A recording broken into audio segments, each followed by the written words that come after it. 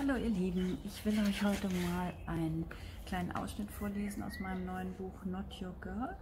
Ähm, das kam im Löwe Verlag heraus und ist mein zweites Jugendbuch dort. Mein erstes war Instagirl und in Instagirl ist die Easy die Hauptperson und ähm, hat eine wirklich heftige Antagonistin, also eine Gegenspielerin, und zwar die Kim. Die Kim fordert ihr wirklich alles ab. Die ist fies, intrigant, arrogant.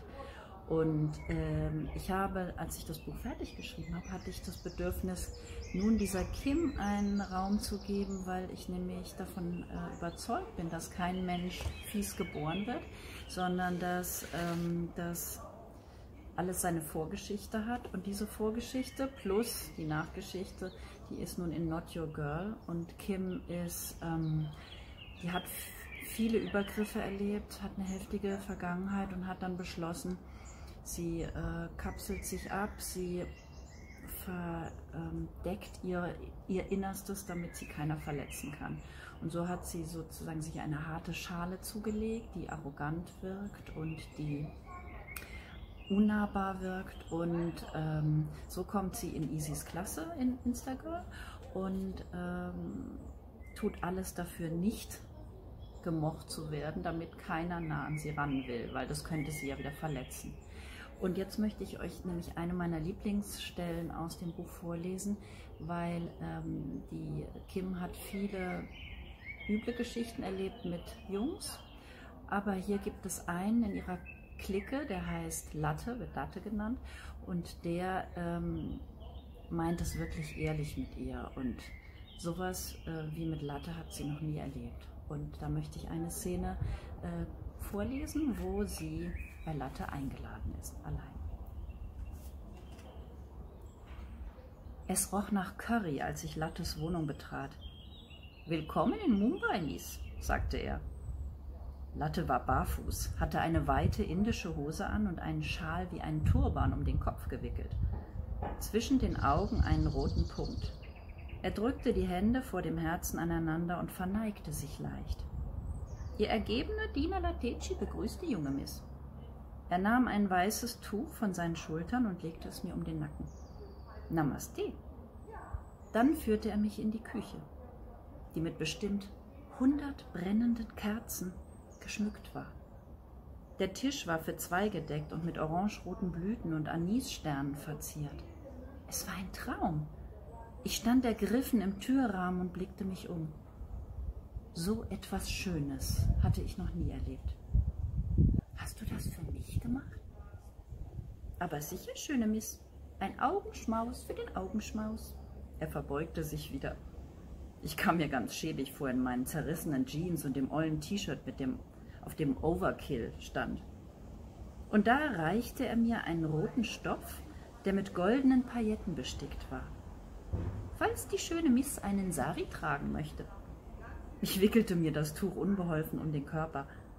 Woher hast du das alles? Indischer Mitbewohner, der netterweise heute unbedingt ins Sportstudium musste. Latte? Lateci, junge Miss, mit G am Schluss. Also gut, Lateji. Das ist wirklich wunderschön. Danke, Miss Kimji. Er verneigte sich wieder. Er wies mir einen Stuhl zu, schob ihn mir unter den Po und schenkte uns beiden Tee in kleine bunte Gläser. Das Curry stand dampfend auf dem Tisch. Er tat uns beiden auf und setzte sich. Auf Lateci, sagte er und hob sein Glas. Gibt es etwas zu feiern? Mein Geburtstag. Heute? Er nickte. Und den verbringst du mit mir? Er nickte wieder. Und als wir uns über das dampfende Curry und die flackernden Kerzen hinweg ansahen, da tat mein wundes Herz einen gewaltigen Hüpfer mitten hinein in einen rosa Watteberg. Lateci reichte mir eine Schüssel mit warmem Wasser und einem Tuch. Er hatte selbst eine vor sich stehen und wusch sich darin die Hände. Ich tat es ihm gleich. Und dann steckte er seine rechte Hand mitten in das Gemüsecurry und begann zu essen. Macht man so in Indien. Und also begann auch ich das Essen mit der nackten Hand in den Mund zu befördern. Anfangs war es ein bisschen unangenehm, aber ich gewöhnte mich daran. Und während wir das leckere Curry genossen und eine orientalische Musik erklang, blickten wir uns immer wieder an. Und ich dachte plötzlich, dass Bo mich einen Scheißdreck interessierte. Was machst du eigentlich? Du meinst, wenn ich nicht koche? Ja, ich studiere soziale Arbeit. Echt, wie alt bist du denn geworden? 20. Und du? Ich werde bald 16. Es ging mir ganz leicht über die Lippen. Die verfluchte 15 würde ich nie mehr nennen müssen. Meine Eltern sind nicht so begeistert.